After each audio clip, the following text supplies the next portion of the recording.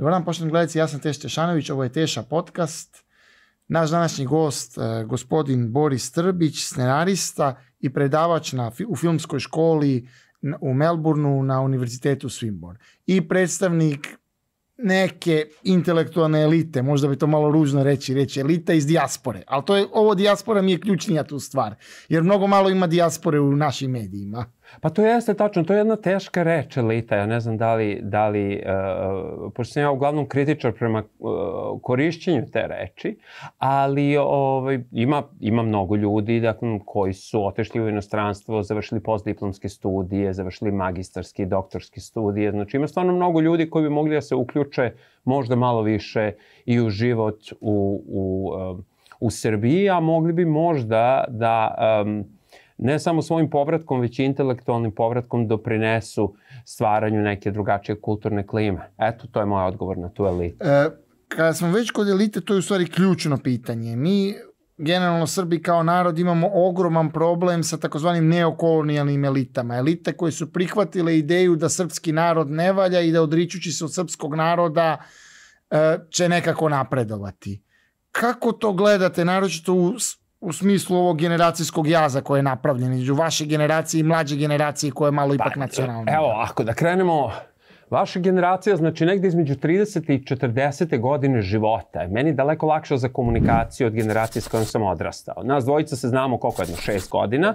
Otprilike i pričali smo u nekoliko navrata kad sam ja dolazio, ja u jednom trenutku nisam dolazio u Srbiju punih 11 godina. Imao sam izvesnu vrstnu rezervaciju prema ne samo kulturnoj, već i društvenoj klimi tog primordijalnog kapitalizma, darvinističkog, znači potpuno. Mislim da se ta faza završila primarne akumulacije i u toj fazi je prosto e, najviše do izraza, izražaja došla, moram da kažem, moja generacija, zaista, i s njima mi je daleko teže u stvari da komuniciram, ne sa svima, naravno, ovo je jedna kako bi rekao, generalizacija, ali uh, baš pre neko veče kad smo sedeli, razgovarali smo o razlikama između uh, generacije koja sada ima između 50 i recimo 65 godina i generacije koja ima između 25 i 40. Uh, za tu generaciju, moju generaciju, znači liberalni razvoj i kapitalizam je bio vrlo sličan kao što iz Rumune, Poljake ili Filipince. Ti misliš ako ti neko izgradi shopping centar u, u tvom predgrađu da si sad ti stekao demokratiju, slobodu tržišta i slobodu štampe, a kao i na Filipinima ti odlaziš u shopping centar kad je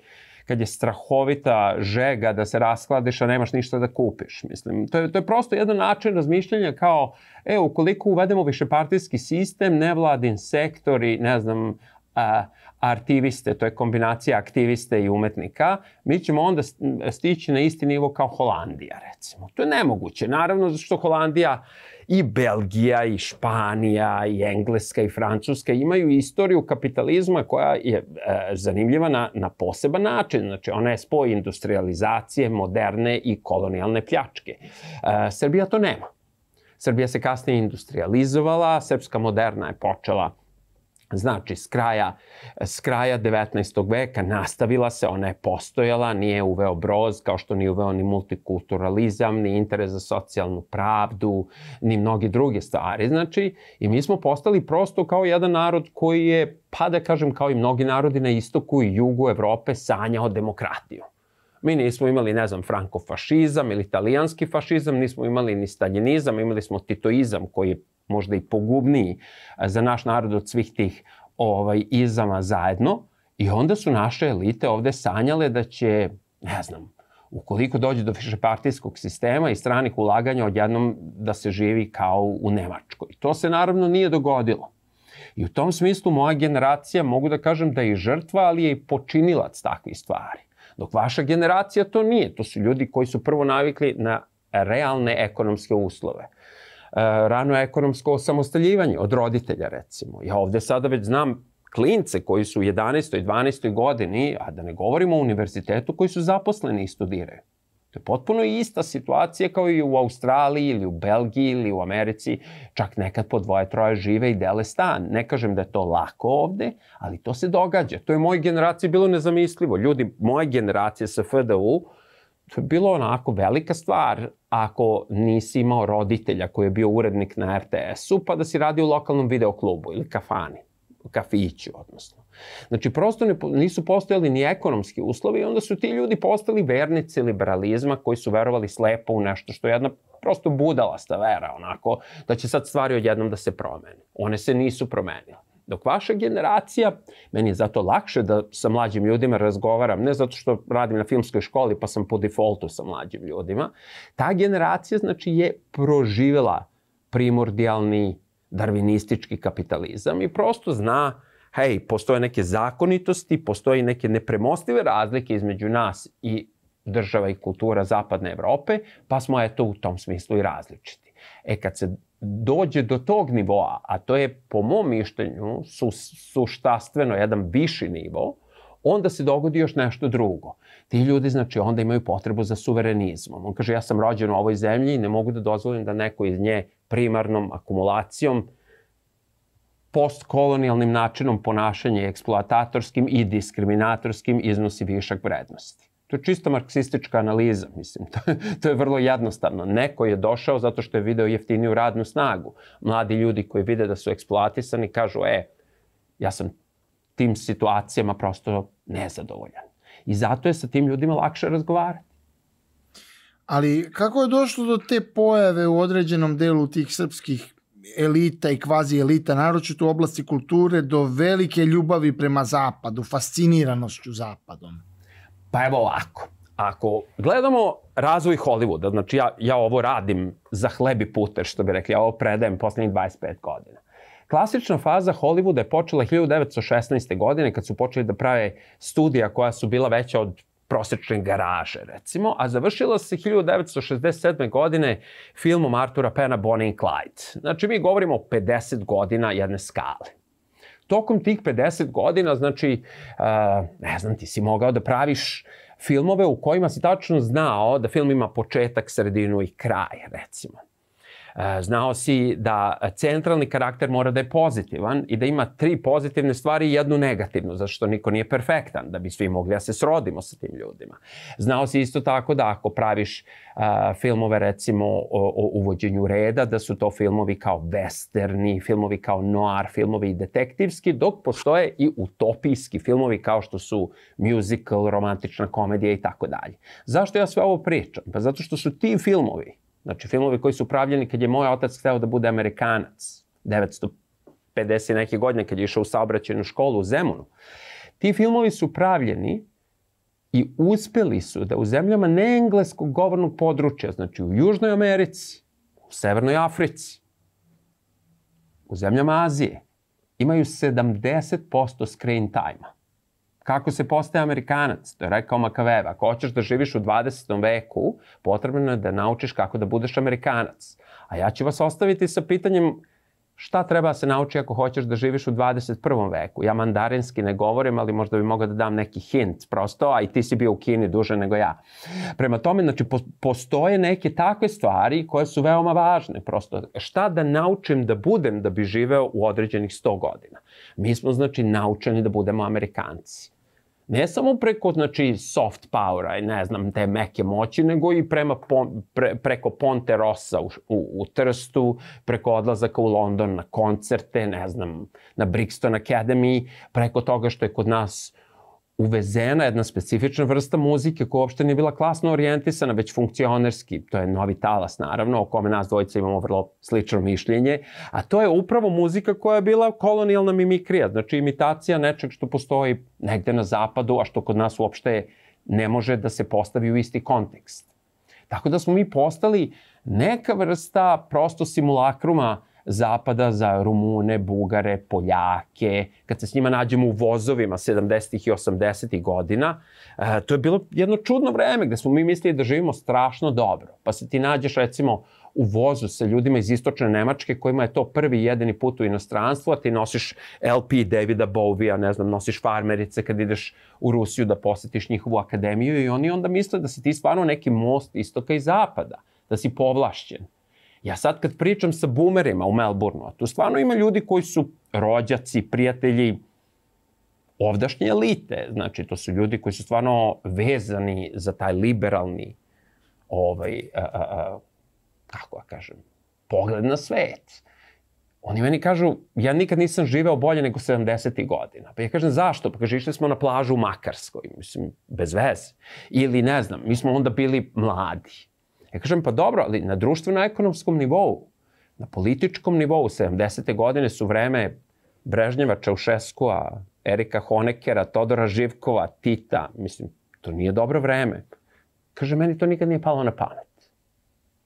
E to je to, mislim. Ako ti to nije palo na pamet, šta ti, šta ti je palo na pamet? Pa pao mi je na pamet sjaju, sjaju travi, ne znam, pao mi je na pamet, ne znam, neke, ne, neke novije stvari Davida Bovija, ne znam, palo mi na pamet, recimo, engleski novi talas. Sve Ali to jeste šta, šta je tu zanimljivo, recimo, e, koji pripada starijoj generaciji od tvoje generacije, to znatno, e, akademik e, Dušan Teodorović, on je imao jedan tweet gde je rekao kao da citiram, ne može aktualna vlast da spočitava ništa niti išta da uči ljude koji su odrastali, onda navodi, ne znam, na Beatlesima, Rolling Stonesima, između ostalog tu navodi i Tita, koji su kao odrastali na tome, ne može nikakav autoritarizam da Ne, ne, mislim, ja sam imao 14 godina kad su nas izgurali iz Zemunske gimnazije i odveli nas ovaj, na poklonjenje u Skupštinu, kad je umro Tito. Znači, to je onako jedno iskustvo gde ti sada ne znaš uh, prosto šta ljudi misle. To je jedna kognitivna disonanca. Ti vidiš ljude koji su čak i govorili protiv Tita pa kažu "B- bio je velik čovek. Ja sad ne znam šta, bio je i Franco značajan čovek za Španiju. Mislim, bio je značajan, jel tako? Bio je i Idi Amin značajan čovjek, pa je bio i Josip Broz, mislim, značajan, ako vodiš zemlju 35 godina, ljudi mi sad pokazuju mostove po Beogradu, kao eto, to je Tito izgradio, pa dobro, morao je nešto da izgradi, i sajmište, i ne znam nija šta, ali mislim, gradilo se između dva rata, gradio i Kosta Kumanudi, mislim, gradili su i mnogi drugi. Znači, kad neko kaže da je neko odrastao na tome, eto, to je odličan primer Teodorovićev. Prvo, mislim, što se Tita tiče, to je jedan argument koji prosto je kao mehur od sapunica, on je stvarno ništavan argument. Kao, to je kao kad ti neko kaže da se mnogo gradilo 46. kao da ništa nije bilo pre rata, ili da su se štitila radnička prava posle drugog rata, a niko ne pogleda šta je pisalo u pasošu Kraljevine Jugoslavije. Nemoj da obaraš cenu rada ako ideš u inostranstvo. Mislim, to je bila zemlja koja je bila monarhija, ali su se i u njoj ljudi prosto brinuli, ne znam, o tome kako žive siročići, pa imamo skulpturu na terazijama koja je, koja je uništena. Imamo prosto, imamo taj dokaz u, u pasošu, prosto imamo razgovore i pregovore sa radnicima. Naravno, nije to moglo bude kako su Tito i Đilas hteli 930 i neke, moglo je da bude onako kako su želi poslodavci i kako je dozvoljavala i policija.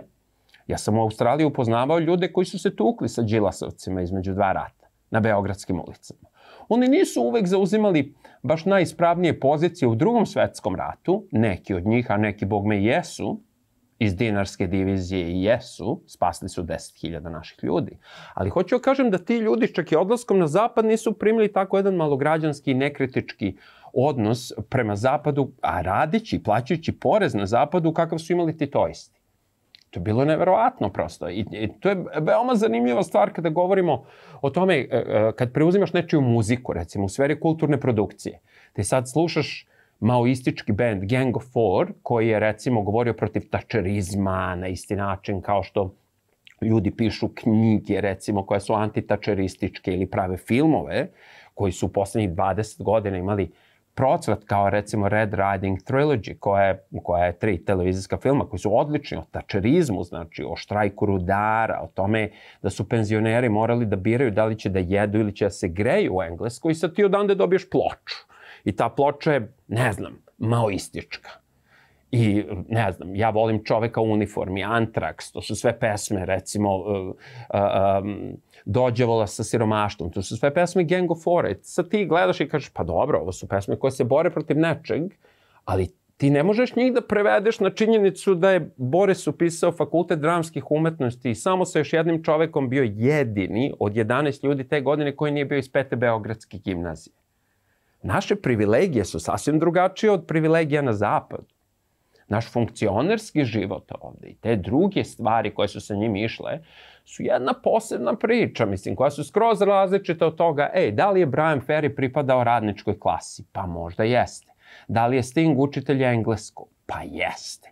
Sting je učitelj engleskog i pesnik koji u isto vreme napravio jedan od, kako bih rekao, najopasnijih stihova koji su napravljeni u posljednjih 30 godina. Nadam se da i Rusi vole svoju decu. Mislim, I hope Russians love their children too. To, to je onako jedan, jedan stravičan stih koji je potpuno prošao kroz zapadno javno mnjenje. I ovde su ga moji vršnjaci pevali. Vrlo interesantno.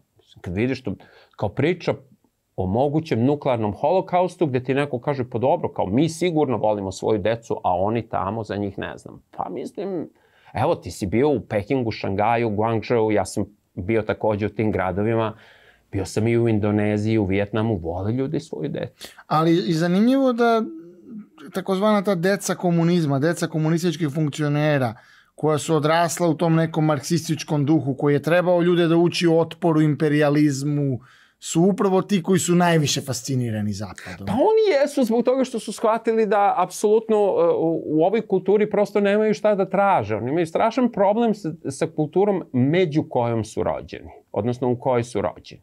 To su ljudi koji ne znaju kako se pravi država jer su došli na gotovo jednu srpsku državu i od nje pravili Jugoslaviju, kao što i prethodna kraljevina bila srpska država koja se onda širila na druge narode i pokušavala da u sinergiji s njima nešto stvara. To su ljudi koji ne znaju da je Sveti Sava od svog oca učio kako se pravi država i kako se pravi crkva. To su velike stvari.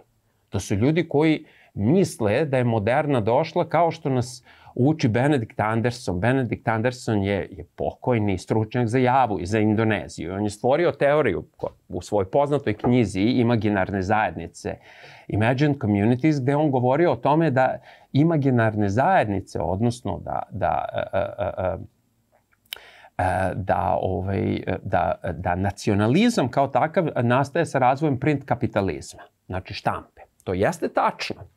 Imamo mi kritiku koja se na to nadovezuje jednu lepu predstavu Video Gnjenović je li bilo Kneževe večere, koja govori o vojvođanskoj malograđanštini i njenom nacionalizmu. Ja sam iz Banata, mislim, to imam pravo da kažem svakako.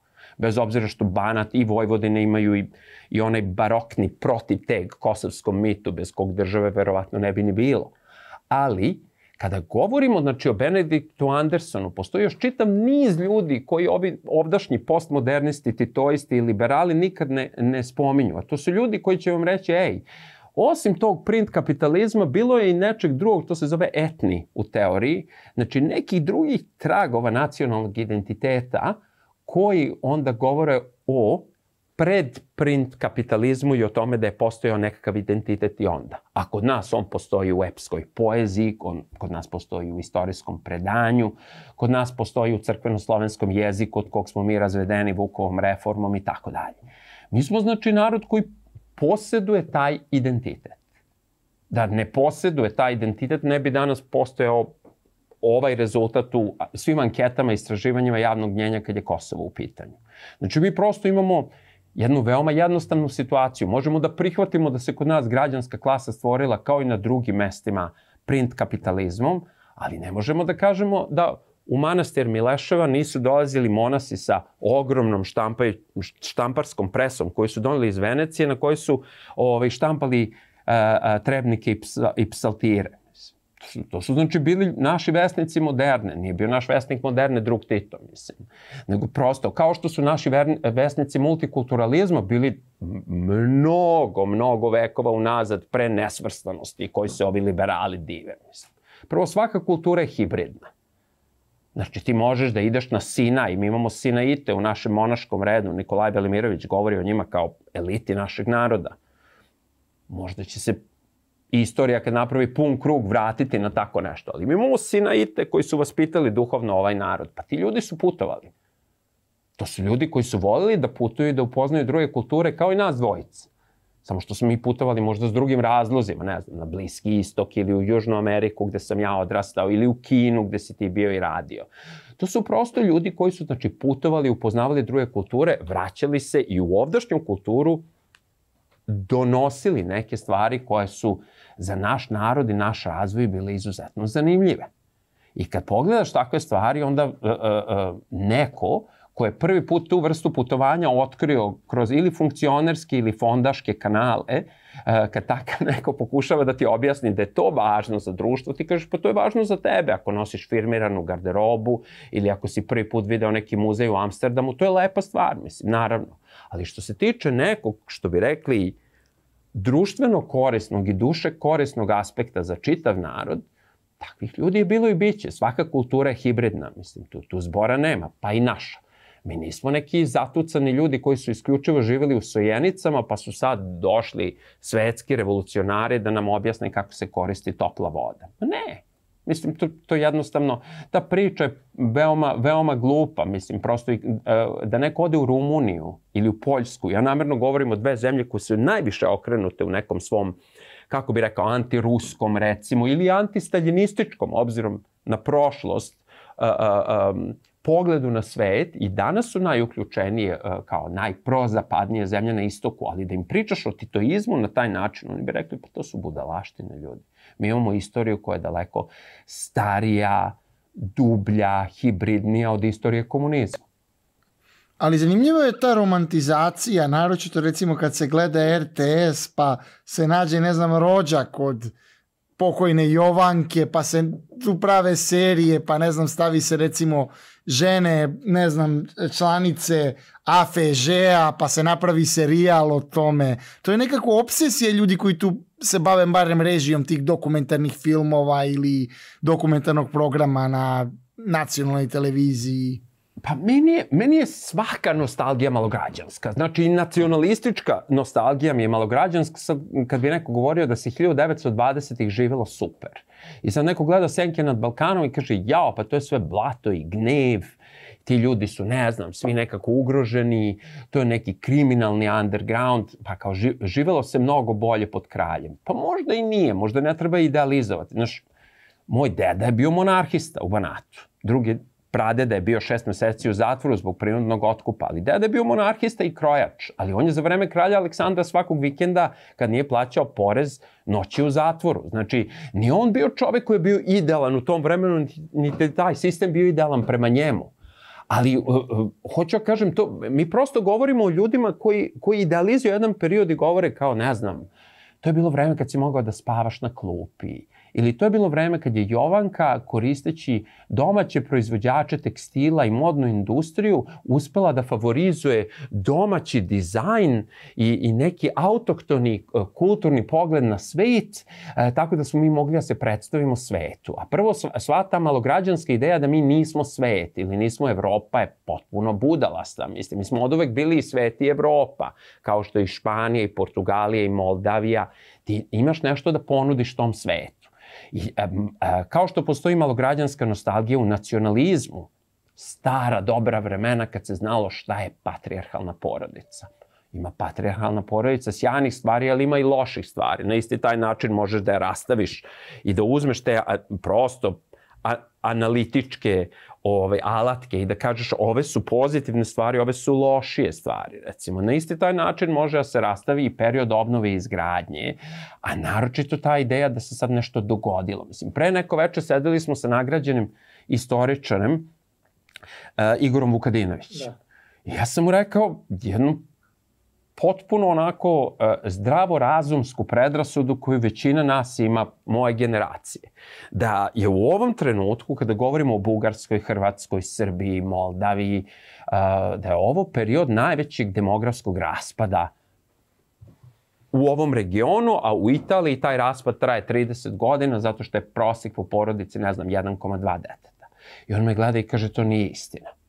Ja kažem, pa dobro Igore, koji podaci govore da se ranije dogodila ta katastrofa? Kaže, ta katastrofa se dogodila u periodu industrializacije, odnosno selo, grad i raspada tradicionalnih uh, porodičnih zajednica koje su se onda fragmentisale, gde je u jednom trenutku prosečan broj dece iz porodice pao sa, ne znam, pet na ne znam, dva ili tri, koliko god da je to bilo, dva, a to se recimo na Kosovu nije dogodilo. Što je vrlo interesantno, pa u jednom trenutku broj novorođenih na Kosovu bio jednak kao i broj novorođenih u Srbiji sa Vojvodinom, užoj Srbiji, užas sa Vojvodinom. Znači, to je, to je na određen način već zanimljiva priča o tome kakve mi kvazi istorijske predrasude imamo o, o nekim elementarnim vektorima sile i istorijskim i hronološkim trajektorijima kroz koje je ovaj narod prošao. To je meni izuzetno, to je meni fascinantno prosto, zato što pa ja ne živim u ovoj zemlji 30 godina. naravno da pratim šta se događa, pratim i ovaj program, pratim i ono što ti radiš, pratim i moja porodica i deca. Ima ljudi koji to ne čine. Ali ovu predrasudu koju sam sad isprečao, deli masa ljudi moje generacije koja je ovde živela tih 30 godina koje sam ja proveo u inostranstvu. E, to je ono što mi je strašno zanimljivo, antropološki, što ti kažeš. Da li je to nostalgija? Da li je to uh, stara dobra vremena nakon kojih se dogodilo nešto što nismo mogli da predvidimo? Raspad Jugoslavije. Prokleti nacionalizam. Šta to znači? Ali nikada ne govore o tome da li je država koja je pozemljivala 30 godina mogla da nastavi da tako živi. O stranom faktoru ne govore kao realnom faktoru koji je uticao na taj raspad i ne govore o tome na koji način se upravo taj raspad može uzeti kao jedan odličan, odličan case study, znači jedan odličan primer za analizu svega što se posle toga događalo u svetu. To je veoma zanimljivo. U tom smislu i kulturna politika je postala odgovarajuća ta kulturna politika odjednom počela da se bavi ove stvarima koje su suočavanje. Ok, sasvim je potrebno da postoji suočavanje, sigurno, i sa srpskim zločinima. A, ljudi koji strahovito insistiraju na suočavanju mogu da dođu u Melbourne i da provere koji je broj žena žrtava ratnog nasilja koje žive u Melbourne, koje su srpkinje, recimo. Mogao bih takođe da ih pitam ako žele da prave dokumentarce o našoj dijaspori, a, da mi pokažu arhivske materijale u zemljama u kojima se govori engleski, nemački i francuski, um, u kojima recimo novine, platforme ili dokumentarni filmovi ili televizijski programi uh, stavljaju fokus na uh, srpkinje žene nasilja na Kosovu, u Bosni, Hrvatskoj i drugim mestima tokom 90. godina. Pa da uporede broj tekstova o tome, koji je iz mog iskustva nula, sa recimo brojem negativnih tekstova Novaku Đokoviću. Ako se već zalažemo za socijalna prava, onda je izuzetno važno da vidimo e, gde se nalazimo i gde, gde smo mi na toj skali, gde smo mi na toj skali na kojoj ovaj, e, neka naša reputacija u inostranstvu, neka naša kulturna politika postoje. Evo daću ti odličan primer. SBS Special Broadcasting Services je etnički kanal u Melbourneu i u Australiji. Jedan od odličnih etničkih kanala u svetu možda najbolji kada je u pitanju filmski program. Šta oni emituju iz Srbije? Evo, možemo zajedno da pogađamo. Familiju, to je ova serija o Slobodanu Miloševiću, Crnu svadbu, koja je jedna onako solidna serija koja govori o marginama, ali veoma zanimljivim marginama i verovanjima i predrasudama. A jedan drugi kanal, ja mislim da je bio Fox, a možda i SBS, je prenosio, je recimo ovaj, prenosio film Teret o hladnjačama i srpskim zločinima nad Albancima. E, film Enklava Gorana Radovanovića sa kojim sam ja sarađivao, znači film koji je prikazivan isključivo na srpskim filmskim festivalima u dijaspori, ali nigde ne može da se vidi recimo bioskopski ili na platformama, je film koji nije stigao do festivala. A upravo to je jedna antiratna priča u kojoj su recimo Srbi prikazani tako da prosto nisu demonizovani, nisu ozveravani, znači, nego su ljudska bića koja žive na Kosovu, na kome besni rat.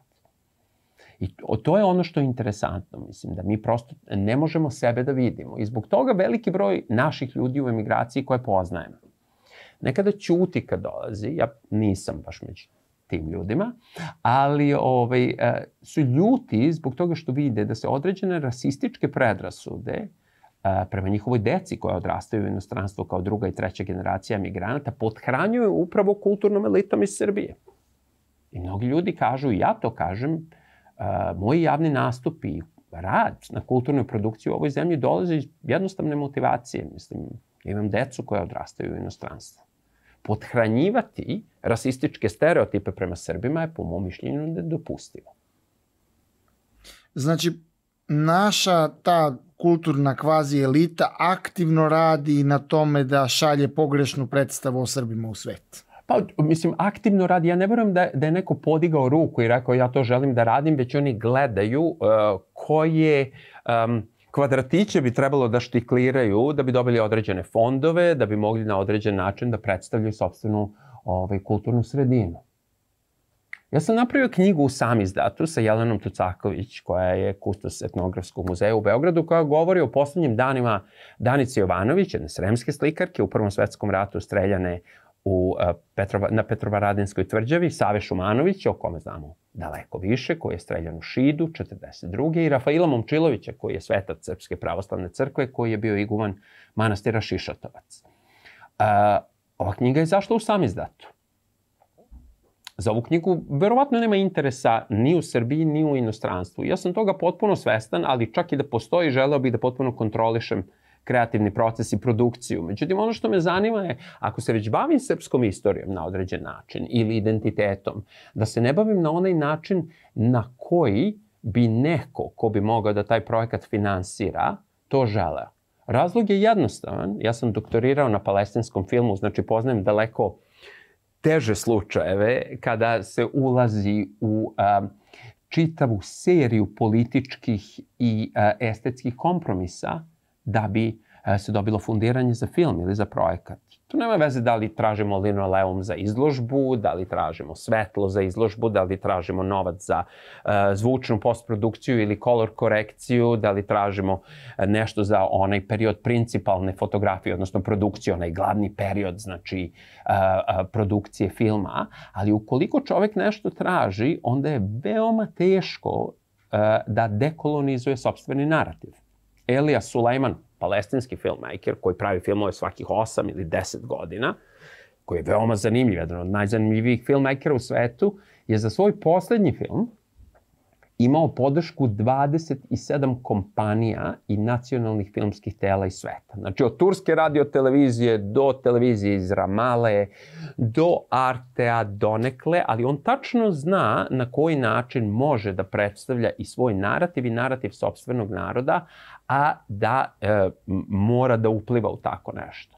E, naši filmmakeri to mogu da rade, ali gotovo, gotovo po defaultu oni govore o situacijama suočavanja. Ja ne poznajem nikog ko je iz Beograda došao u Australiju, a da je razgovarao recimo o logorašima koji su bili u Jasenovcu. To je uradio moj kolega Dragan Gavrilović koji živi 30 godina u Melbourneu, koji radi sa paštunima. Mislim, da, o čemu govorim? To uradio neko ko je ekonomski nezavistan, koji te ljude poznaje, otišao i razgovarao sa njima pre nego što su umrli.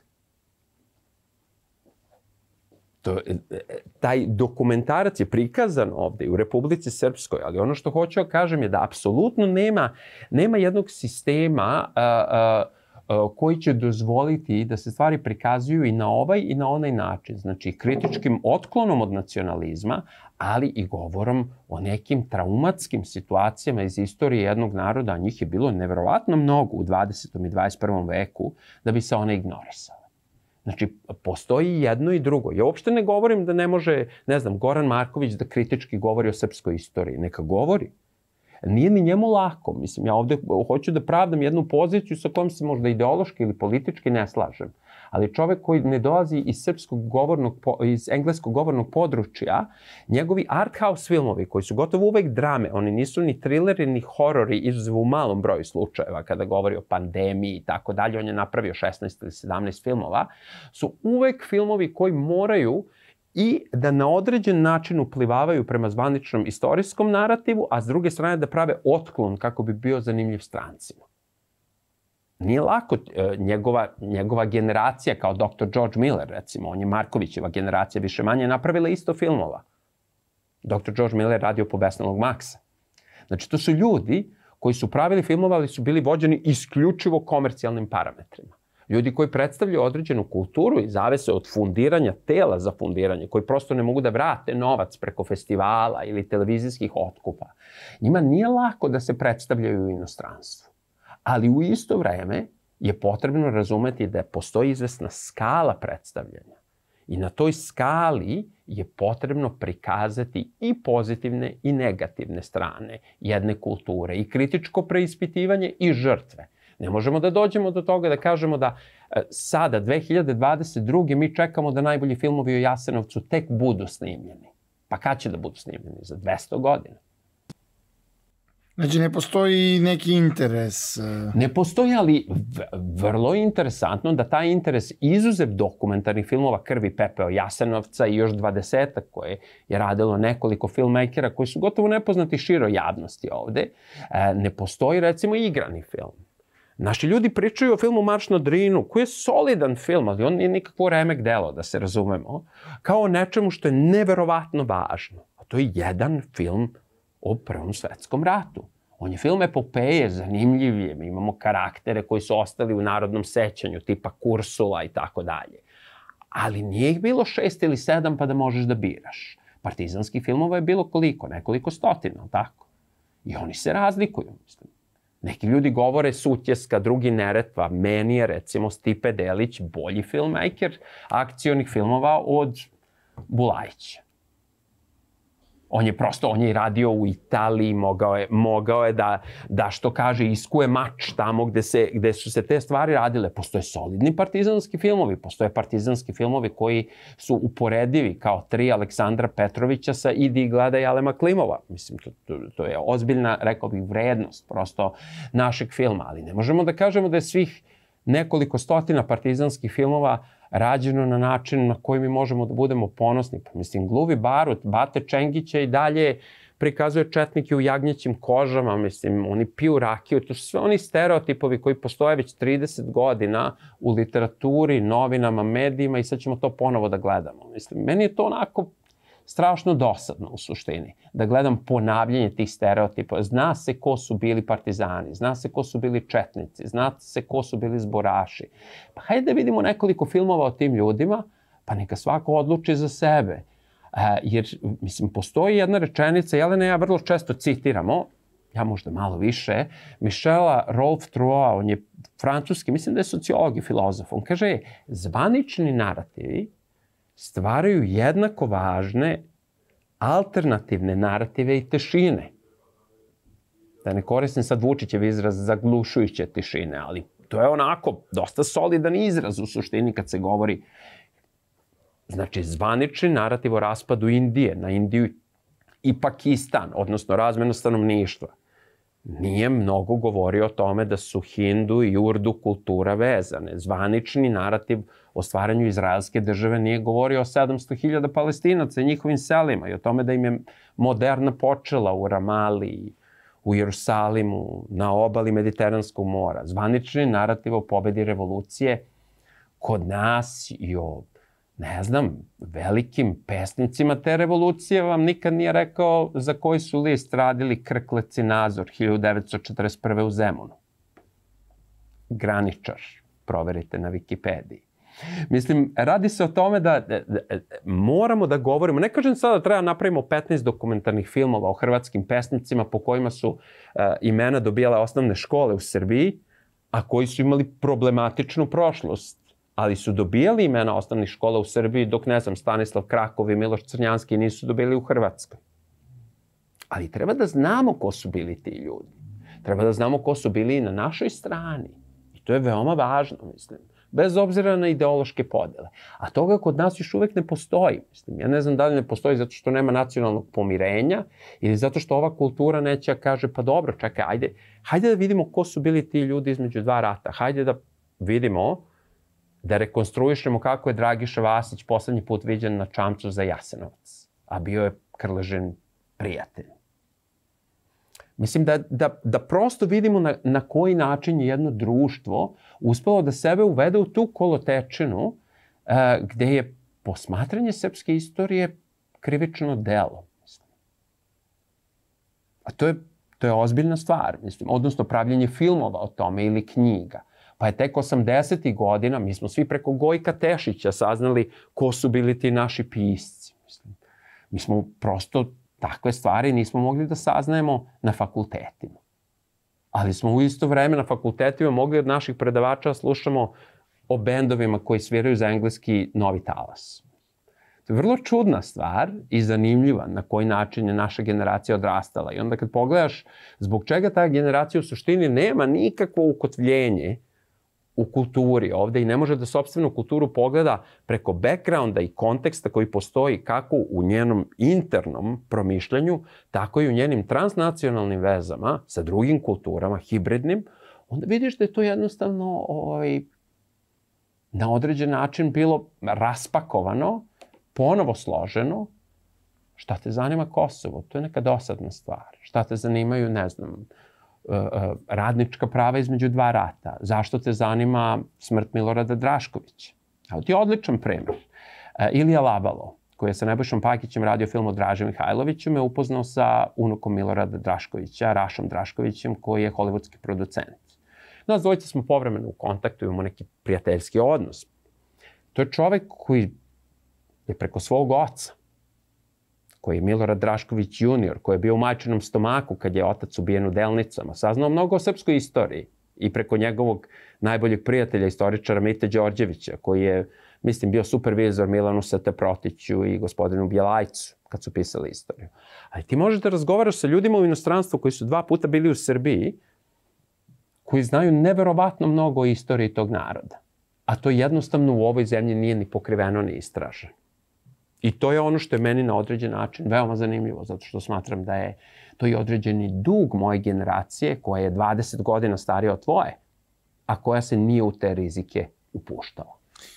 Ono što je zanimljivo kada pominjemo te kompradorske elite jeste što e, kod nas se nedovoljno zna da taj primer tog e, pokloničkog odnosa prema zapadu među elitama nije jedinstven za ovaj prostor. To postoji u zemljama širom trećeg sveta.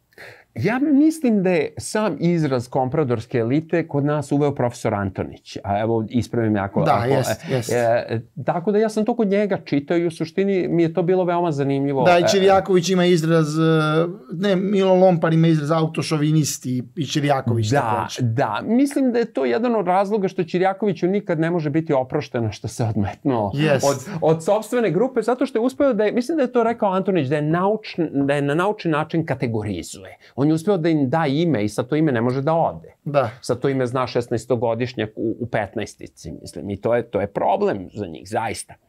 E, ono što je zanimljivo meni, mislim, ja slušam e, Lompara, Kovića, mislim da oni govore o, me, sa relativno sličnim platformi kao i Antonić o kompradorskim elitama. Ono što je zanimljivo je pogledati kompradorske elite recimo na Filipinima ili u Indoneziji. Um, Ja sada imam studente iz Melburna koji odlaze u Pasadenu i, i, i u Los Angeles i razgovaraju sa 60 članova svoje vijetnamske porodice. Znači sa svojom babom koja ima 93 godine, koja je udovica, o njenom suprugu koji je bio šef sajgonske policije u doba francuske i američke vlasti. Ja gledam taj dokumentarac koji pravi moj student, vjetnamac iz Melburna. To je jako zanimljiv dokumentarac. Prvo, on zna o Vijetnamskom ratu. On takođe zna da je između 3 i 5 miliona ljudi poginulo u ilegalnom bombardovanju Laosa, Kambođe, Vijetnama. On zna za generalne percepcije o Vijetnamskom ratu. Zna za antikomunizam svoje porodice i zna za činjenicu da je veliki broj Azijata, veliki broj Vjetnamaca koji su prešli sa južno-vjetnamcima na zapad, pobegavši, kao što su pobegli crne noge, Pied Noir iz, iz Alžira, iz drugih mesta, da su izvali banane. Zašto? Žut s polja, beo iznutra, kao kolonijalni sluga, komprador. To je rasistički izraz za njih koji sam ja čuo od svog studenta vjetnamca. On kaže kad te neko nazove, ako si azijat, ako te nazove bananom, to je izraz koji je izuzetno uvredljiv i rasistički, koji govori o tome da si kom, da si kompradorsko dete, da si u suštini osoba čije vrednosti podržavaju kolonijalni, kolonijalni pogled na svet, te kolonijalni paket. I to je jako zanimljivo zbog toga što od tih ljudi takođe možemo da naučimo, bez obzira s koje strane te, te podele su oni bili. Da li su stvarno bili među kompradorima, sada njihova deca i unuci pokušavaju da realno sagledaju sve što im se dogodilo, ili su ljudi koji, mislim, žive u Milaju, koji žive u Danangu, koji žive u Hueju, koji žive u Hojanu, i ostali su u Vijetnamu i dan danas ovaj, možda imaju tu priču da su im babe i dede poginule 71. ili 72. ili 68. u TET ofanzivi, a da oni danas rade za neku američku kompaniju. Mislim, kako možeš da pomiriš te stvari u sebi? To je takođe zanimljiva priča. A takvih priča imam utisak kod njih ima više nego kod nas.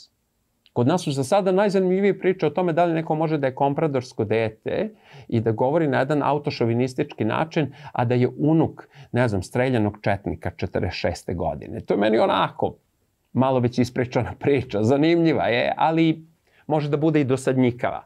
Ove druge priče kompradorske koje su spomenute, one su mi interesantnije, prosto zato što tu možemo da se stvarno poredimo sa trećim svetom, sa Alžirom, recimo, sa Libanom. Naš zajednički prijatelj Stefan Branisavljević u Jordanu, uh, želim da ga pozdravim ovim putem ako, ako, ako gleda ovu emisiju jer sam mu rekao da, da ću doći ovaj, da, da je snimim. On je čovek koji uh, je meni, a ne znam možda i tebi, rekao da na određen način mi kao, kao ljudi, kao zajednica, veoma red, veoma često prenebregavamo činjenicu da smo možda bliži ljudima koji žive na Levantu nego šveđanima, dancima, austrijancima. Tu možda čak i ljudi koji su na, nacionalisti ili koji se izjašnjavaju kao nacionalisti imaju izvesnu dozu identitetskog autošovinizma, jer često smo jako spremni da to e, orijentalno, pošto reći orijentalno u srpskom znači bliski istok, a ne daleki istok za razliku od engleskog, umemo preterano da odbacimo kao nešto tursko, nazadno i to, tako da i ta crta isto postoji.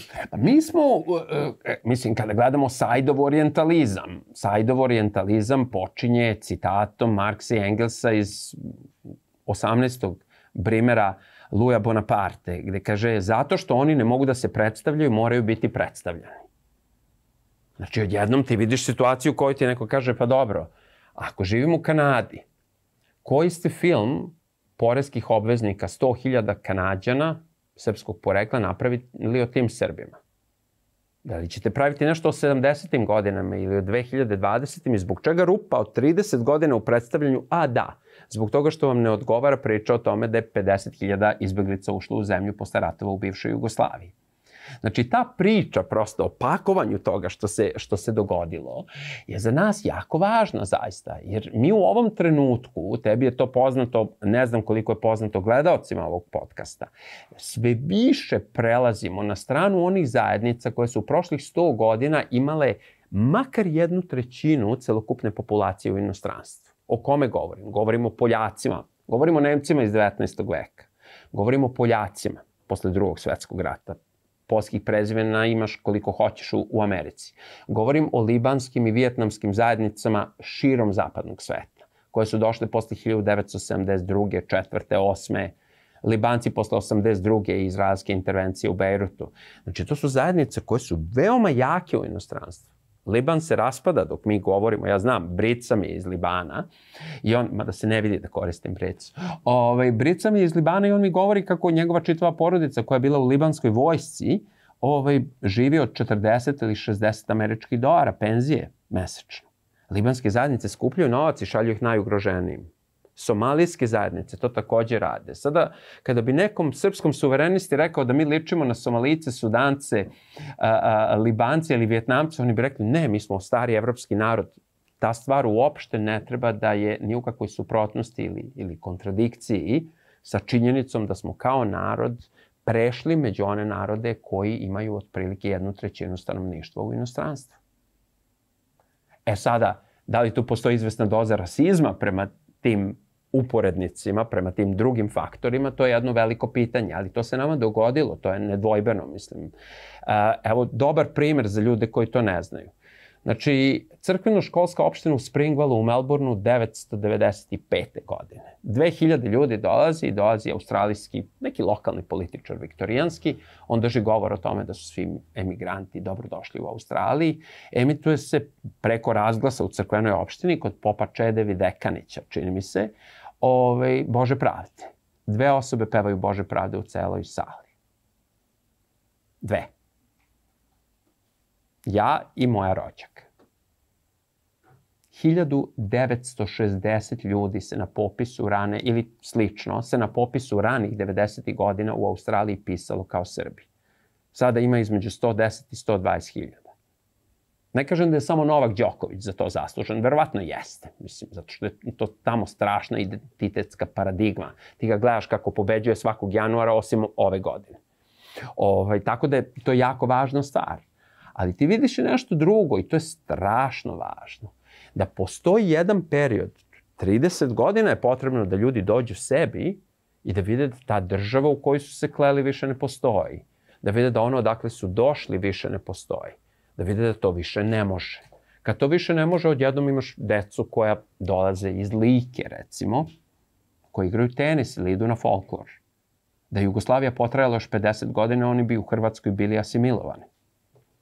Tako da je to izvesni dobitak. Ja tu decu znam. Gledam ih na treninzima, druže se sa mojim decom i tako dalje. Oni prosto imaju sada više sličnog sa decom iz Republike Srpske ili Šumadije, nego sa decom među kojim bi ostala da žive tamo, a očigledno čiji roditelji baš nisu podržavali ideju da Srbi nastave da žive u Hrvatskoj.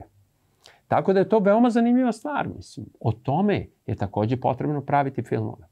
A potrebno je praviti filmove i o prijateljstvima ljudi koje tamo nastaju, koje krše te nacionalne barijere. Ja nisam nikakav jugosloven, ali mogu da razgovaram sa kolegama koji dolaze iz Bosne i koji nisu ni Srbi ni Hrvati o tome šta mislim i o klimatskim promenama ili o Julianu Assangeu ili o COVID lockdownu i da ustanovim da ne mislimo mnogo različitih stvari. Ali to je zanimljivo e, što ste rekli vezano za Srbe kao narod dijaspore, da smo mi postali narod gde je trećina stanovništva u dijaspori. Obično ti narodi dijaspore, recimo poput jevrejskog naroda, nađu nekakve mehanizme da održe kontinuitet sećanja, da kroz neke institucije, što verske, što građanske prirode, se zadrži kohezija zajednice koja je rasuta na različitim kontinentima. Mi Srbi u ovom trenutku tako nešto nemamo, niti pomišljamo da imamo. Mi nemamo fundiranje kulture, imamo određene mehanizme pomoći na Kosovu, recimo. Moja dva brata od tetke su veoma često odlazile na Kosovo, obojica su rođeni u Melbourneu.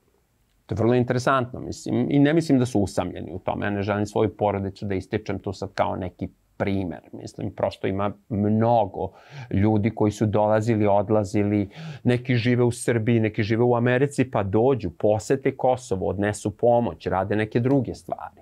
Znači, postoje ljudi koji mogu e, time da se bave. Postoje ljudi koji će u određenom trenutku dati pomoć ukoliko imaju privatan biznis, industriju, na čem se bave i tako dalje. E, kohezijoni faktori u određenim zajednicama postoje Južni Sudan, Somalija, Eritreja, ja govorim o Australiji, Libanska i Vjetnamska zajednica su izuzetno jake, Indijska zajednica u trenucima krize, recimo, veoma jaka. E, kad je dolazilo do rasističkih incidenata u Melbourneu, kada je dolazilo do slanja pomoći žrtvama monsuna i tako dalje. Mislim da postoje oni momenti, mislim da sad da ne govorim, ali srpska zajednica kad su u pitanju okupljanja za Kosovo je dosta aktivna. Možda bi to mogla bude pet puta aktivnije, bolje, efektnije, ali to postoji. Jevrejska zajednica, međutim, ima, ima recimo dva filmska festivala, jevrejski i izraelski. Srpska ima jedan, kao i Nemačka, kao i Hongkonška, kantonski filmski festival. E sada, ako gledamo o tome na koji način se kultura sećanja, što je bilo pitanje, spominje, to je jedno drugo pitanje. Mislim, jevrejska kultura sećanja je veoma važna i oni su stvarno primeri oralne memorije koji su nezapamćeni u istoriji, ali u ostalom i dogodilo im se nešto nezapamćeno u istoriji. Holokaust je zaista nešto što je prosto posebna uh, posebna priča. Moj prijatelj je dorčarski jevrej, moj najbolji prijatelj u, u Melbourneu, on se sad vraća da živi u Srbiju, što je veoma interesantno. Mislim, njemu je prosto ovdašnji narativ i kultura sećanja e, nešto što mu prija daleko više, bez obzira što tamo može da je deo integralne jevrejske zajednice.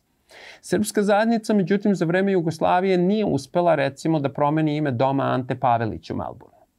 To ime je promenjeno, ali su neke druge zajednice učestvovale u tome i neki drugi faktori medijskog pritiska. Srpska zajednica to nije radila smatrajući da je dovoljno da se bude Jugosloven. Tako da je to, to je veoma interesantno. Mislim, prosto uh, apologete nacizma ne postoje nigde u svetu, pa ne treba da postoje ni tamo gde se govori o odnosu Srba i njihovih protivnika. Mislim. Uh, tako da je to na, na jedan način meni bio šok kad sam tamo stigao. Prosto nisam mogao da razumem, e pa ljudi, šta vi radite da ne morate da trpite ovo kao legitimni istorijski narativ iz drugog svetskog rata. Mislim. Oni jesu bili antikomunisti, ali su bili blagosloveni, blagosloveni od Hitlera, mislim, i ubijali su neverovatan broj jevreja, Roma i Srba. Znači. E, tako da je to već samo po sebi meni, meni bilo iznenađujuće prosto. Znači to kao zajednica koja, ako se gleda globalna srpska dijaspora, Australija uz taj imaginarni Chicago i ta neka druga mesta predstavlja kao mesto tvrdog suverenizma, nacionalizma. Nisam baš nešto siguran u to uopšte. Ali nema veze, neka tako i ostane i neka, neka, neka prosto postoji ta neka fantazmagorija da su ljudi strašno. Zavisi od osobe do osobe, naravno, da li veruje prosto u to da je važno da drži svoju kulturu. Uh, mislim, evo jedan dobar primer. Uh, žena koju znam 30 godina, ona je sada u penziji, Slobodanka Vladev Glaver, ona je čerka dvorskog muzičara, ovde došla je ovaj, 50. godina u, e, mislim da je išla u Nemačku, majka je radila sa Panićem koji je ovde bio uh, premijer u farmakoindustriji. Ona je stigla u Melbourne, ja ne znam sad da li govorim tačno sve njene činjenice, ali ona je urednik najvećih svetskog žurnala o Dostojevskom i, i radi i urednike u Slavika Publishers u Ohio, mislim. To je vrlo interesantno da ona sarađuje recimo sa mojim dobrim drugom, prijateljem Dušanom Danilovićem koji radi na Vanderbilt univerzitetu i njegovom suprugom, koji su takođe akademici koji sada preuzimaju kao nova generacija ljudi, znači mlađi 25-30 godina, akademske časopise. Ukoliko bi ti akademski časopisi preuzeli do određene mere i kulturu sećanja, oni bi mogli da daju neki, neku krovnu A, ali politiku. šta je tu glavni problem? Uvek kada se govori o udruživanju Srba u dijaspori, na kraju se sve to svede na folklor i na humanitarnu pomoć. Naravno, svaka čast jedno... I sport. I sport. I sport, da, te tri stvari. Svaka čast, sve tri stvari su bitne. Ali ove zajednice o kojima govorimo, poput jevrejske, ipak u svom udruživanju imaju neku ideološku, političku dimenziju koja našoj dijaspori u potpunosti nedostaje. Da li je to zbog tog titoizma koji postoji među starijim generacijama ili možda sama ideja srpskog političkog udruživanja toliko politički nekorektna da ne bi mogla ni da postoji? Pa ja mislim da je ovo drugo tešno zbog toga što, uh, uh, ne znam, vi ste mogli da dođete 980. godina u svoje rodno mesto, u Bosni ili Hrvatskoj, možda i u Šumadiji, i da vas pozovu na informativni razgovor zbog toga što vam dete ide u folklor u Slobodnu Srpsku pravoslavnu crkvu. To je ona alternativna crkva koja se posle toga pomirila sa SPC. To je situacija u kojoj ne može sad neko da kaže čekaj, ako mi dete ide u folklor, a ja nisam bio na ulici sa nekim plakatom i govorio da ta zemlja se dezintegriše, da govorim nešto protiv toga, zbog čega ja uopšte gubim vreme To je e, nešto što se prosto događalo i taj strah je ostao. Mislim, koga zmija ujede, taj se guštera plaši, jel tako? Tako da ljudi kojima je ostalo udruživanje Srba je, ima, ima mnogo srpskih udruženja, monarhističkih, e, e, ne znam, udruženja koja nastavljaju recimo, pošto je u Australiji veoma jak Anzac Day, kada se proslavlja taj veteranski dan, srpska četnička udruženja su izlazila i nosila, mislim, nosila su mrtvačke glave sa ukrštenim kostima, gde uh, reporter ABC-a kaže, kaže njihova znamenja deluju zastrašujuće, ali oni su naši lojalni lojalni saveznici iz drugog svetskog rata, što je verovatno izazivalo ospice kod ovih titoista i ovih drugih. Međutim, to je izlazilo po 2-3 hiljade ljudi, njihovi brojevi su sad smanjili, pa unuci i pravnuci izlaze. E, ja znam dvojicu naših veterana, braću Banjanin, koji već imaju pet manje od 100 godina, jedan i drugi. Međutim, ove godine sam bio na spomeniku neznanog junaka, znači gde je došao naš ambasador, recimo. To je vrlo interesantno. Ja sam ga prvi put video tamo gde se govori o tome da je 2000 ljudi ostavilo svoje kosti iz anglosaksonskog sveta, pomažući našim vojnicima u Prvom svetskom ratu kako u odbrani od Austro-Ugara, sve do, ne znam, Vrnjačke banje, sve do juga kad su se povlačili pa i išli preko Albanije, do Solunskog fronta kad su se vraćali, većina njih su bili bolničari. Ja sam tad slušao zapanjujuće stvari. Prvo čovek dođe i kaže ja sam 80. godina bio u Srbiji jer mi je tu prababa bila. A taj čovek sad ima nešto 70 godina. Onda neko drugi kaže, moj deda je na brodu na koji je finansirao poznati magnat čaja, Lipton, koji je imao plantaže čaja na Ceylonu, u Šrilanki današnjoj. On je finansirao brod koji iz Engleske došao sa medicinskom pomoću da pomogne Srbima ovaj, na Solonskom frontu. To mi govore australijanci koji žive 80 km od Melburna, koji srpski znaju četiri reči, koje su naučili za tu priliku. Neki od njih dolaze u invalidskim kolicima da održe govor. Našeg sveta je bilo nekoliko stotina. I prvi put smo videli i ambasadora naše zemlje, i veterana iz dinarske divizije, i industrijalca koji nije srpskog porekla, ali koji je veoma instrumentalan ovde u recimo IT hubu u Beogradu i tako dalje. Znači sve ljude koji su tog porekla prosto i koji su došli da na određen način odaju počast toj kulturi sećanja. To meni bilo lepo. Prosto jedan moment uh, uh, na kome bih voleo da je bilo prisutno mnogo više od 50 doktora nauka našeg porekla koji žive u Melbourneu, ali nije ali je dobar početak. Jer e, sport, folklor, slanje pomoći, tu se slažemo. To je važno, ali to, to nije nešto što je, što je krucijalno. Mislim, jako je dobro imati akademske, akademsko neko, neko pomeranje. Mislim, takođe, činjenica da ja ovde dolazim iz dvogodišnjeg lockdowna. Mislim, to je ozbiljna stvar. Mi smo imali dve godine lockdowna u Melbourneu. Naš stariji sin je imao 270 dana lockdowna.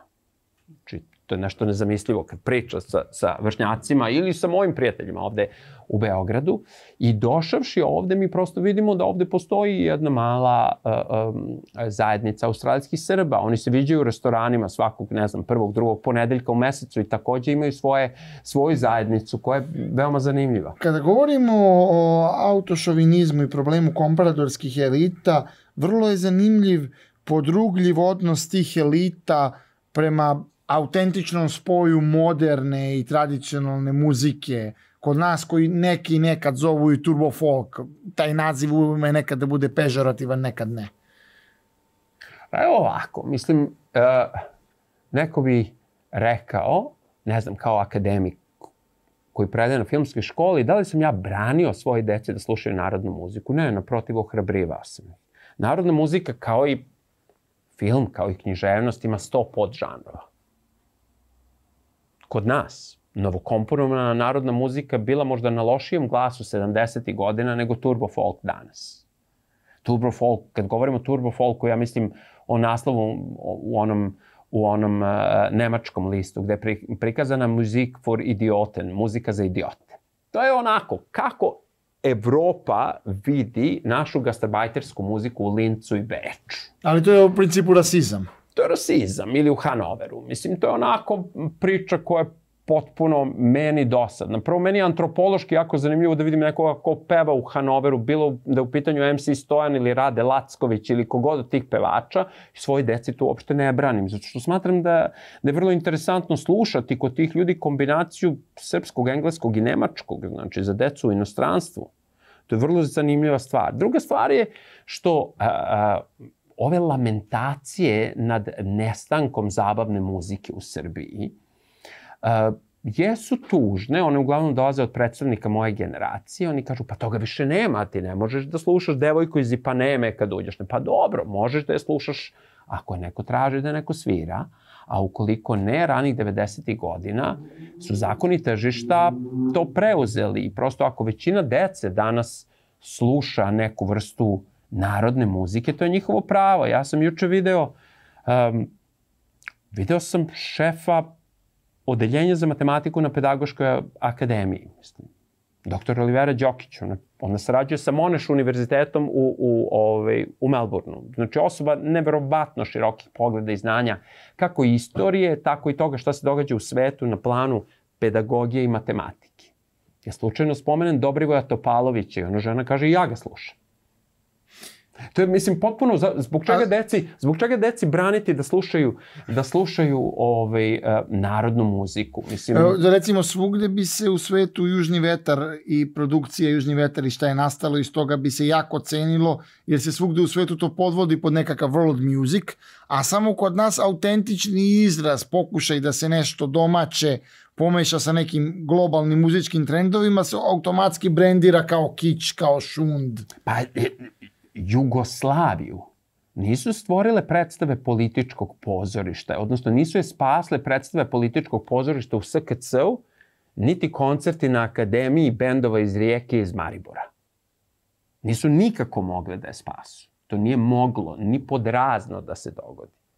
To nije moglo nikako da se desi. Jugoslaviju su mogli da spasu zadimljeni domovi kulture, u kojima su pevali Ipče, Jašar, Šemsa Soljaković, srpski narodni pevači, Miroslav Ilić, kogod. Ljudi koji su išli u mala mesta, koji su tražili glasače za Jugoslaviju. Cela Slavonija sluša srpske narodne pevače. To, je javna tajna u Hrvatskoj. Slušaju se isto tako i na moru u Dalmaciji, ali manje, malo manje zato što tamo postoji strahovita nacionalistička presija. Ali se slušaju. Slušaju se prosto. A u Slavoniji se slušaju isto kao što se slušaju sa druge strane Dunava. Mislim, postojala je šansa da se spase ta Jugoslavija. Ili njihova Jugoslavija, ili naša Jugoslavija. Nije sad bitno šta ja mislim o tome. Postojala je. Ali ona je mogla da ide kroz autentičnu, a ne uvezenu muziku. Slušao sam ja isto tako i pankrte i idole, slušao sam jako mnogo domaćeg novog talasa. Bio sam gost Lajbaha i Noe Sloveniše Kunsta ranih 90-ih. Znači, nije, nije u pitanju moje neko distanciranje od toga. Pa ja sam u to isto tako verovao, ja sam vaspitan u tome.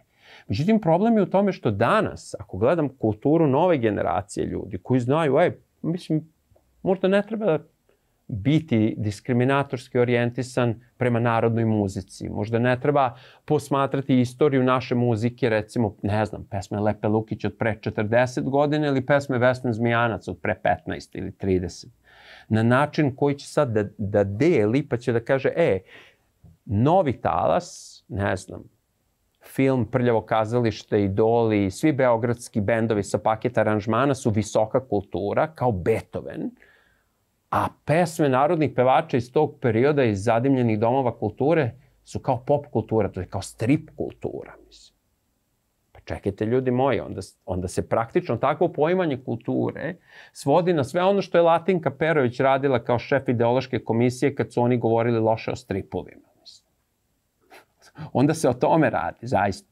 Onda imamo potpuno staru podelu na visoku i, i nisku kulturu, pa šta, ja, ja ne mogu da posmatram srpski novi talas ili zagrebački ili riječki novi talas kao da je to Ezra Pound, kao da je to Beethoven. Pa to je muzika za zabavu a i narodna muzika je muzika za zabavu. S tim što ona ima određeni, određeni kulturni profil koji dolazi iz našeg podneblja, srpskog.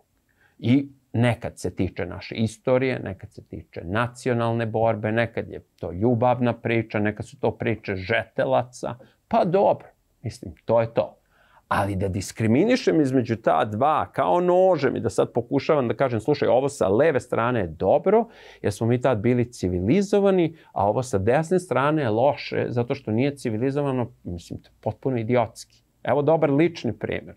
Moja baba, pokojna Evica Mirkov, ona je umrla u Melbourneu 2009. i prenesena i sahranjena u Banatu. Ona je radila kod majke Duška Popova Znači, ovog čuvenog... E, James da, Bonda. James Bonda, James da. Bonda. Ona je kod nje naučila između svoje 12. i 14. godine da radi kao modistkinja i radila je šešire posle toga kad se vratila u selo. U Francuskoj ulici je bio njihov butik, ona se seća majke Duška Popova i oca Osmana Popova, on je bio zemljoposednik i biznismen, mislim, koji je živeo u nekoliko banatskih sela. Moja baba u životu nije slušala zabavnu muziku, a poznavala je James Bonda.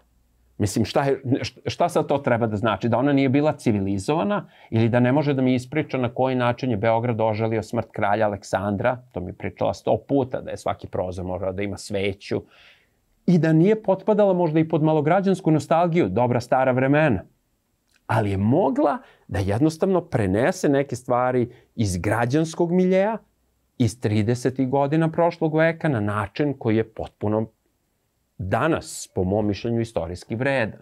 A da ja govorim da je zbog toga što je ona mogla da sluša, e, ne znam, narodnu muziku, a nije, nije mogla uopšte da pojmi kako je to sad zabavno, šta je to ritam i blues, mislim. Ali to je zanimljivo, to je kod drugosrbijanaca neka ideja o e, dobrom ukusu. To, to opet mora se pozove na Čirjakovića, da je kao dobar ukus je ono što razdvaja nas kao neku kao kulturnu elitu od tog kao naroda koji nema taj dobar ukus. Pa ja ne znam šta je dobar ukus. Mislim, dobar, dobar ukus su dve dobre pesme grupe Film ili Prljavo kazalište ili 22 dobre pesme Azre ili ne znam, dve ili pet pesama Idola. Mislim, to, to je vrlo, ne, nešto vrlo interesantno.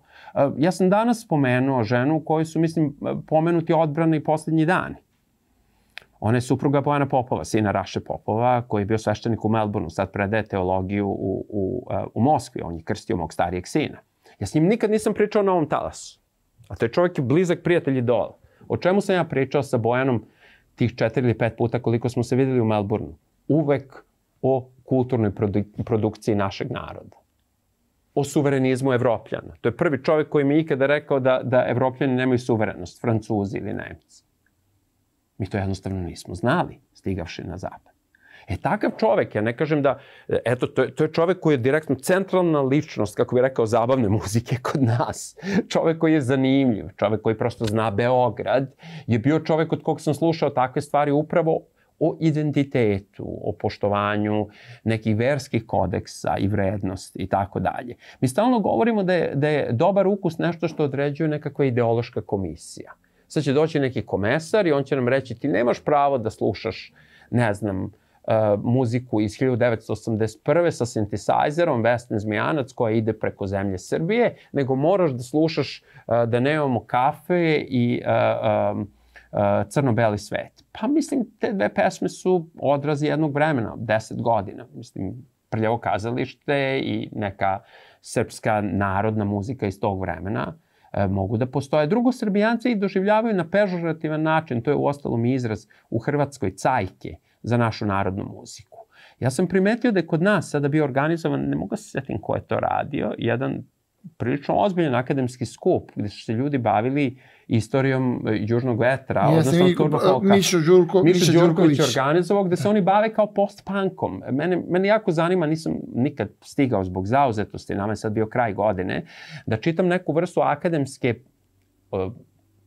pa rekao bi komparativne analize između toga šta je post-punk u, u, u Engleskoj recimo, nalik na ovaj poznati grafit ispod Brankovog mosta i post-punkeri su punkeri. O, ne znam da li je izbrisan sada, nisam bio. Hladno je.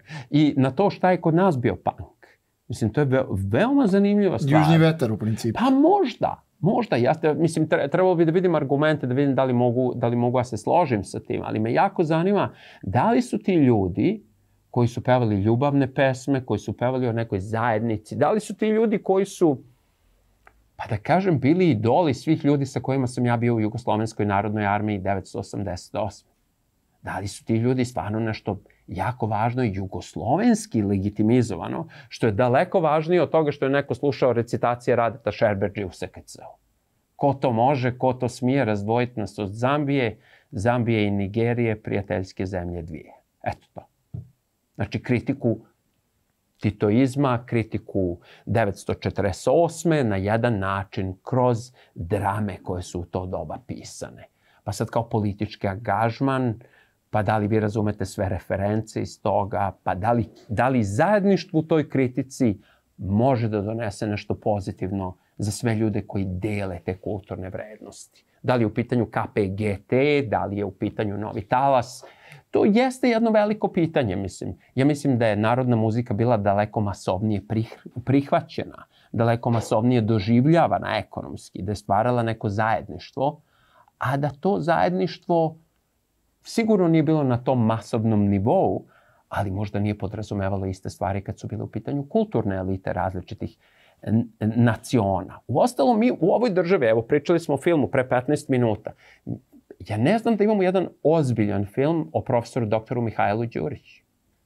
To je čovek koji je ranih 70-ih videvši novi ustav rekao čekaj, ovo ohrabruje nacionalističke partikularizme u ovoj zemlji. Ovde će doći do raspada. On je skrajnut. I skrajnut je jednako od tvrdih titoista i od liberala. To je moje razumevanje te krize. On je bio čovek koji je upozorio, hej, ovde će doći do raspada i marginalizovanja. To je veoma zanimljivo, mislim. Zašto nemamo narative o tim ljudima? Ne moramo da govorimo o nekim striktnim podelama. Možemo jednostavno da, da, da vidimo da li su te priče isprečane i da li možemo da razumemo do koje mere su te priče iz prošlosti važne, jer ne kontrolišući naraciju naše prošlosti, mi u stvari odbijamo da kontrolišemo sobstvenu budućnost. Ali kako mi možemo ovo da preokrenemo? Da li je potrebno da se desi smena generacija ili je ipak moguće uz ovu sadašnju postavku nekako barem rad u srpskoj kulturi okrenuti u korist srpske ideje? Pa smena generacija se već desila.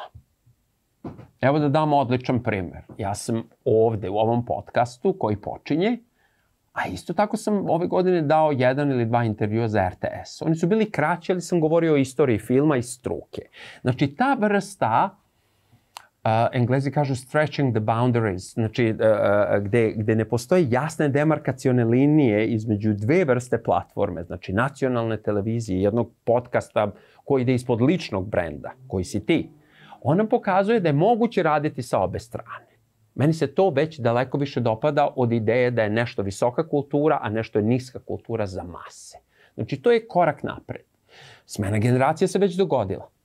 Ja razgovaram sa osobom koja je 20 i više godina mlađa od mene. Mislim, to je, to je jako važna stvar. Jer ako mi ta osoba daje glas u ovom društvu, odnosno platformu da govorim, to je takođe veoma važna stvar. To znači da se, posto, da se dogodio taj power shift, da se dogodilo, e, da su relacije sile promenjene. To je takođe važno. Znači nije potrebno da ljudi moje generacije izumru. Mislim, dug život svima želim. Već jednostavno da, da možda postoji shift gde će ljudi rođeni, naročito 80-ih i 90-ih, moći da predstavljaju narativ sa jedne šire, prosto dijaloške, dijaloške strane. Bahtin ima reč heteroglosija, to je razgovor, dijalog prosto, neka vrsta dijalektike u razgovoru, koja je strašno potrebna. Potrebna je u toliko što ljudi kažu, e, čekaj, ovo je moguće, ovo nije. Ja to sad u Srbiji vidim recimo za razliku od mnogih drugih zemalja, uključujući i ovu iz koje sam došao. Kad pričamo o COVID-u, ljudi kažu ovo je jako opasan grip koji se brzo širi i može da ubije ljude koji su imunokompromitovani. S druge strane, postojala je histerična medijska kampanja koja je o tom gripu govorila na jedan isključiv način, ne dozvoljavajući alternativne glasove. Pa ako tako možemo pričamo o COVID-u koje traje od dve godine, tri godine, jel možemo tako pričamo o istoriji? To nije teško.